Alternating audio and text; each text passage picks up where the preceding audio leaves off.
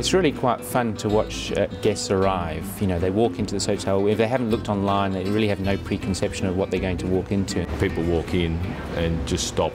They walk in through that front door, stop, just look up and take a moment.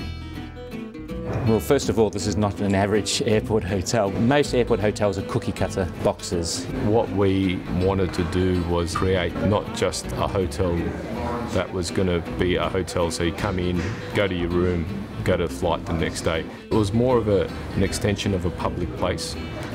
The beauty of the interior downstairs is that you've got unique little pockets of areas that do different things. It's warm and inviting. You don't feel like you're sitting in a, in a cold lobby by yourself.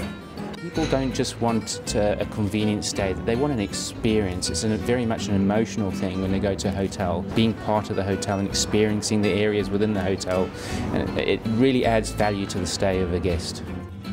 It's sort of been absolutely amazing the response that it's received, you know, from Belle to Financial Review, Qantas, every media outlet, every single hotel publication. It's just been non-stop. A lady who works for Singapore Airlines, who's been with them for 40 years and travelled the world, said to me it's the best design bedroom in terms of where everything is for the guest.